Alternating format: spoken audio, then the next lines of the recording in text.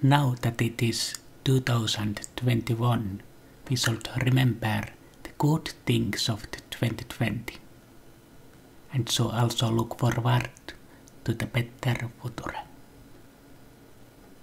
Now in 2020 there were many good animes, such as Eizouken and Japan Sinks 2020. Now some people say Japan Sink was shit anime, or so bad that it's good, but in fact it's actually just good.